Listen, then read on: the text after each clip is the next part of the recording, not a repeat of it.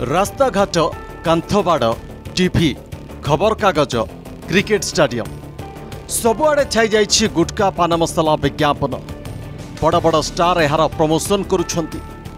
ଆପଣ କେବେ ଚିନ୍ତା କରିଛନ୍ତି କି ଆମ ଦେଶରେ ଯଦି ଗୁଟକା କମ୍ପାନୀ ବିଜ୍ଞାପନ ବାବଦକୁ ଏତେ ଖର୍ଚ୍ଚ କରୁଛନ୍ତି ତାହେଲେ ସେମାନଙ୍କର ଲାଭ କେତେ ହେଉଥିବ? ଦୁଇହଜାର ଏକୋଇଶରେ ଭାରତରେ ଗୁଟକା ପାନ ମସଲା କାରବାର ଏକଚାଳିଶ ହଜାର ଆଠଶହ ଏକୋଇଶ କୋଟିର ଥିଲା।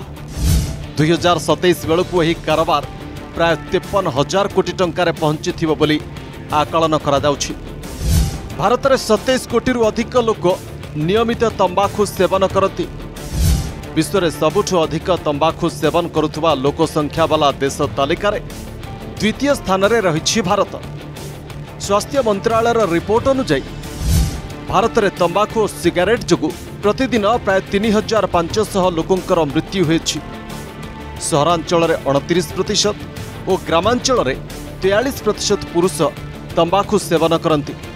ଆଉ ଯଦି ମହିଳାଙ୍କ କଥା ଦେଖିବା ଗ୍ରାମାଞ୍ଚଳରେ ଏଗାର ପ୍ରତିଶତ ଓ ସହରରେ ପାଞ୍ଚ ପ୍ରତିଶତ ମହିଳା ତମ୍ବାଖୁ ସେବନ କରୁଛନ୍ତି।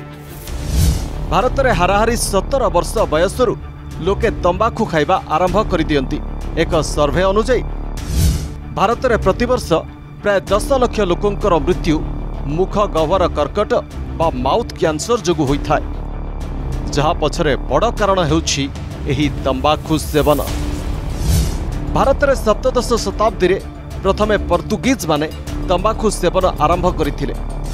ଆଉ ଆଜି ସର୍ବାଧିକ ତମ୍ବାଖୁ ଉତ୍ପାଦନ ଓ ରପ୍ତାନୀ କ୍ଷେତ୍ରରେ ଚୀନ ଓ ବ୍ରାଜିଲ ପରେ ଭାରତ ତୃତୀୟ ସ୍ଥାନରେ। ଏବେ ସବୁଠୁ ରୋଚକ କଥା ଶୁଣନ୍ତୁ। ଭାରତରେ ତମ୍ବାଖୁ ଉତ୍ପାଦର ବିଜ୍ଞାପନ ଦେଖାଇବା ଉପରେ। କଟକଣା ଲାଗୁ କରାଯାଇଛି। ହେଲେ ଗୁଟକା ପାନ ମସଲା ଉତ୍ପାଦନକାରୀ କମ୍ପାନୀଗୁଡ଼ିକ ଏହାକୁ ଫାଙ୍କିବା ପାଇଁ ବଢ଼ିଆ ଗଳାବାଟ ବାହାର କରିଛନ୍ତି। ସେମାନେ ମାଉଥ୍ ଫ୍ରେଶନର ନାଁରେ ବିଜ୍ଞାପନ ପ୍ରସ୍ତୁତ କରି ନିଜ ବ୍ରାଣ୍ଡକୁ ଲୋକଙ୍କ ପାଖରେ ପହଞ୍ଚାଉଛନ୍ତି। ନିକଟରେ ଏହିପରି ଏକ ପ୍ରଡକ୍ଟର ବିଜ୍ଞାପନରେ ବଲିଉଡର ତିନି ଜଣ ମେଗାଷ୍ଟାର ନଜର ଆସିଥିଲେ। ଏହି ବିଜ୍ଞାପନ ବି ଖୁବ୍ ବିବାଦରେ ରହିଥିଲା। ଆଉ ଆମ ଓଡ଼ିଶାରେ ମଧ୍ୟ ସାର୍ବଜନୀନ ସ୍ଥାନରେ ଗୁଟକା ବିକ୍ରି ଉପରେ କଟକଣା ଜାରି କରାଯାଇଛି ହେଲେ ଦୋକାନ ବଜାର ସବୁଠି ବେଧଡ଼କ ଭାବରେ ଚାଲିଛି ଗୁଟକା ବିକ୍ରି ବ୍ୟୁରୋ ରିପୋର୍ଟ ଅର୍ଗସ୍ ନ୍ୟୁଜ୍